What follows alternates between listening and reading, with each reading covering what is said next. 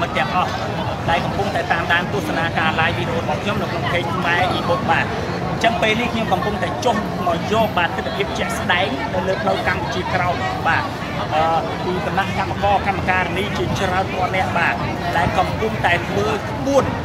ដង្ហែពួនស្នើសុំរាជរដ្ឋាភិបាលនិងក្រសួងដែលមានសមត្ថកិច្ចជួយដោះស្រាយជូនពួកគាត់បាទដោយសាររោងចក្រជីមលីបានបិទទ្វាររយៈពេល4ខែដោយ មិនបានជូនដំណឹងទៅដល់កម្មករកម្មការនេះអញ្ចឹងខាងរោងចក្រក៏បានស្នើសុំបាទក៏បានស្នើអឺក៏ក៏បានសន្យាដែរបានសន្យាថានឹងបើកប្រាក់ឈ្នួលឲ្យគាត់ថ្ងៃនេះថ្ងៃនោះថ្ងៃនេះថ្ងៃនោះតែមិនបានបើកជូនពួកគាត់គាត់ឡើយហើយក៏បានបិទទ្វារដោយមិនបានជូនដំណឹងមុនទៅថ្ងៃនេះ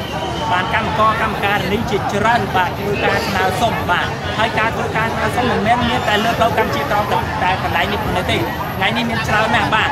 បានន័យថាកម្មករកម្មការនីនៅរបាត់របាយពេញនឹងតែម្ដងបាននៅកោកម្ពុជាក្រោមខ្លះនៅមុខសាចិនរីខ្លះនិងនៅជិតរដ្ឋាភិបាលខ្លះបាទពុកម៉ែបងប្អូនបាទសូមទស្សនាជាមួយរូបភាពពិតប្រាកដជាមួយខ្ញុំបន្តទៀតបាទ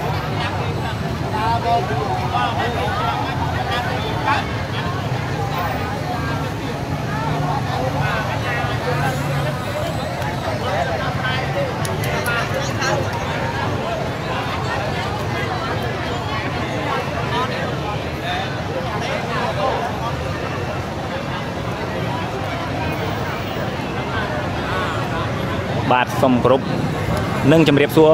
សារជាថ្មីម្ដងទៀតដល់ពុកម៉ែបងប្អូនលោកលោកស្រីអ្នកនាងកញ្ញានិងប្រិយមិត្តទាំងអស់ដែលកំពុងតែតាមដានទស្សនាការ live វីដេអូរបស់ខ្ញុំនៅក្នុង page ខ្មែរ e-book បាទសូមជួយ share ជួយ share ម្នាក់មួយម្នាក់មួយឲ្យបានច្រើននោះពុកម៉ែបងប្អូនបាទ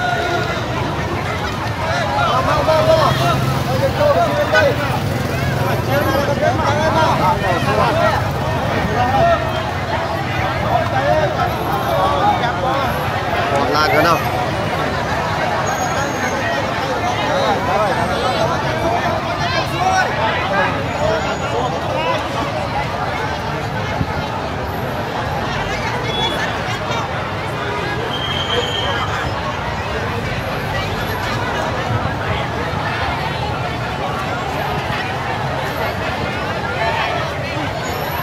បាទសូមជួយ share ម្នាក់មួយម្នាក់មួយឲ្យបានច្រើនពុកម៉ែបងប្អូនបាទសូមជួយ share តែបានច្រើនបាទនេះកម្មករកម្មការនេះដែលធ្វើការស្នើសុំបាទធ្វើការស្នើសុំការថ្លៃឈ្នួល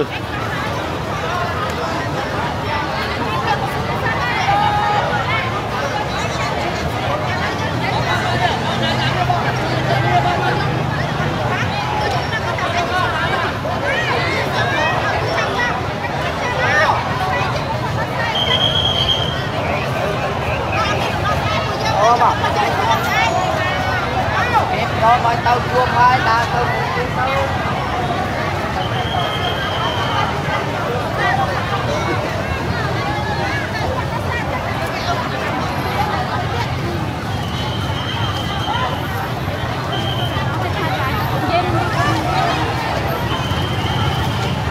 មានមានតំណាងហើយតំណាងបើគេដឹកនាំខ្ញុំហ្នឹងតំណាងគេដោះស្រាយនៅរោងចក្រដាច់បាត់ហើយបើមានតំណាងនោះព្រោះអត់តំណាងមិនកម្មករមកដល់នេះហើយអើវាគាត់គាត់ខ្លះទៅអាស្អី និ យាយឡើងខត់ហើយនិយាយឡើងខត់ហើយមកគេតាមបាត់ហើយចេញនិយាយទៅបើទៅចូលទៅព្រាទៀតតោះមិញនិយាយអត់បានចូលកាមេរ៉ាឥឡូវនិយាយដល់គេមើលរាប់លានអ្នកនិយាយដល់និយាយណាដល់សាច់បាទអឺបាទនិយាយចុះបងខ្ញុំដើមកខ្ញុំឲ្យអួរដើមកនិយាយចាញ់ទេបងចេះចេញទេបងអើយហត់ណាស់និយាយបោះល្ងាចហើយ បាទបើនិយាយបើងាយនិយាយគេអត់លឺហ្នឹងនិយាយធ្វើអីអីវានិយាយជាមួយនិយាយនេះនិយាយលឺបាទនិយាយនិយាយចូលកាមេរ៉ាចូលព័ត៌មានអញ្ចឹងបានគេលឺណាគាត់ថានិយាយកាមេរ៉ាគេជួយម៉ែនិយាយគេជួយអត់និយាយចេញអួរដើឯមងកនិយាយអត់ចេញទេបាទអឺវិច័យនិយាយមនុស្សវាច្រើនពេលអ្នកមានអ្នកខ្លះគាត់ហ្នឹងកម្មតោះកររោងចក្រជីមលីបាទសបាទការរោងចក្រហ្នឹងបាត់រយៈពេល4ខែ ហើយអត់មានកាត់គូលុយឆ្នាំឲ្យពួកកម្មករយើងខ្ញុំឥឡូវសូមស្នើបងប្អូនដែលមើលហ្នឹងជួយសៀដល់សម្ដេចផងពួកខ្ញុំមកដាច់បាយដាច់ទឹកអស់ហើយនៅផ្លូវកម្ពុជាក្រោមពួកយើងជា2000នាក់មកស្នើដល់សម្ដេចឥឡូវគេកាត់ផ្លូវហ្នឹងគឺអត់ឲ្យទៅទេពួកខ្ញុំឯងអត់បាយអត់ទឹកអីទេដល់ស្រួលគីឡូហើយបាទថាអូនហាំទៅពីពី80ដល់60ថាជាងជាង2000នាក់ប៉ុន្តែនៅនៅកន្លែងនេះខ្ញុំឃើញតែប្រហែលជា300នាក់ប៉ុណ្ណោះបងស្រីខ្ញុំ ទៅដៃអ្នកផ្លូវជាតិលេខ4គឺពងមកហើយគាត់នៅ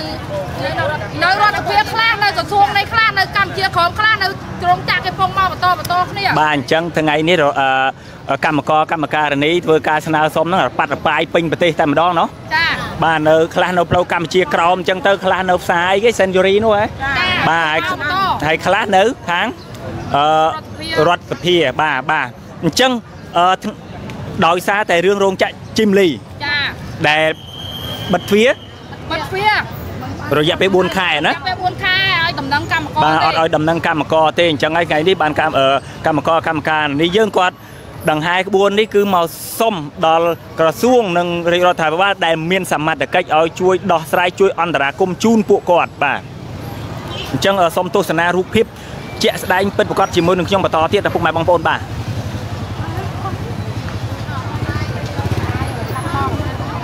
ចាឡាយមិនដល់មិនឡាយដល់ខ្ញុំក៏កន្លែងចេញ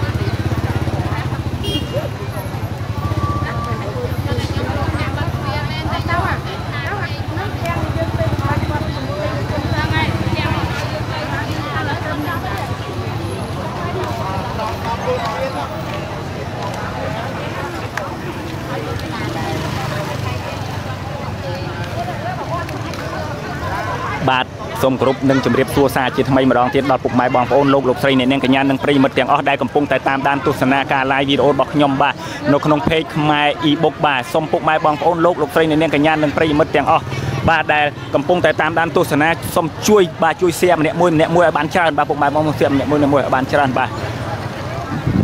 អឺកម្មករកម្មការនេះបាទជាបាទជាច្រើនបាទជាច្រើនធ្វើការស្នើសុំទៀមទាបាទទៀមទាអឺ ប្រាក់ថ្លៃឈ្នួលពីអឺរោងចក្រ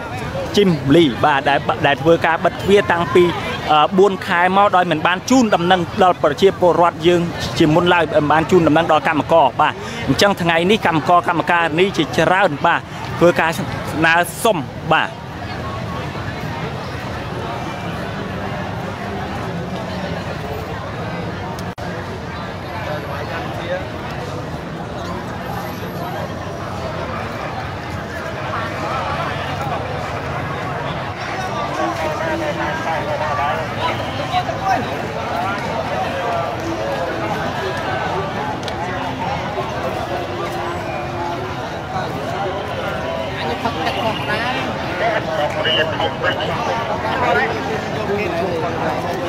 បាទសូមគោរពនិងជម្រាបសួរសារជាថ្មីម្ដងទៀតដល់ពុកម៉ែបងប្អូនលោកលោកស្រីអ្នកនាងកញ្ញានិងប្រិយមិត្តទាំងអស់ដែលកំពុងតែតាមដានទស្សនាការ live វីដេអូរបស់ខ្ញុំនៅក្នុង page ខ្មែរ e-book បាទអញ្ចឹងថ្ងៃនេះ បាទពេលនេះម៉ោងនេះវេលានេះខ្ញុំកំពុងតែឈរនៅលើផ្លូវកម្ពុជាក្រោមចុះមកយកអឺទស្សនវិជ្ជាជាក់ស្ដែងបាទចុះយកមកយកទស្សនវិជ្ជាជាក់ស្ដែងពីអឺការដង្ហែក្បួនស្នើសុំរបស់កម្មករកម្មការនេះ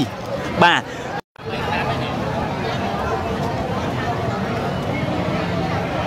បាទសូមគោរពនិងជំរាបសួរដល់ពុកម៉ែបងប្អូនលោកលោកស្រីអ្នកនាងកញ្ញានិងប្រិយមិត្តទាំងអស់ដែលកំពុងតែតាមដានទស្សនាការ live វីដេអូរបស់ខ្ញុំនៅក្នុង page ខ្មែរ e-book បាទ អញ្ចឹងពេលនេះខ្ញុំកំពុងតែចុះមកយកបាទទស្សនវិជ្ជាជាក់ស្ដែងនៅលើផ្លូវកម្ពុជាក្រោមបាទអឺពីសំណាក់កម្មករកម្មការនីជាច្រើនពាន់នាក់បាទដែលកំពុងតែធ្វើក្បួន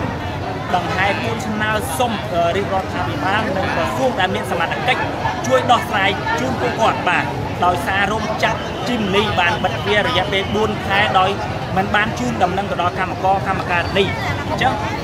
ខាងរោងចក្រក៏បានស្នើសុំ បាទក៏បានស្នើអឺក៏ក៏បានសន្យាដែរបានសន្យាថានឹងបើកប្រាក់ឈ្នួលឲ្យគាត់ថ្ងៃនេះថ្ងៃនោះថ្ងៃនេះថ្ងៃនោះតែមិនបានបើកជូនពួកគាត់គាត់ឡើយហើយក៏បានបិទទ្វារដោយមិនបានជូនដំណឹងមុនទៅថ្ងៃនេះបានកម្មករកម្មការនីជាច្រើនបាទធ្វើការស្នើសុំបាទហើយការធ្វើការស្នើសុំមិនមែនមានតែលើផ្លូវកម្ពុជាក្រោមតែតែកន្លែងនេះប៉ុណ្ណេះទេថ្ងៃនេះមានច្រើនណាស់បាទបានន័យថាកម្មករកម្មការនីនៅរបាត់របាយ ពេញនឹងតែម្ដងបាននៅក្រៅកម្ពុជាក្រោមខ្លះនៅមុខផ្សារចិនរីខ្លះនិងនៅជិតរដ្ឋាភិបាលខ្លះបាទពុកម៉ែបងប្អូនបាទសូមទស្សនាជាមួយរូបភាពពិតប្រាកដជាមួយខ្ញុំបន្តទៀតបាទ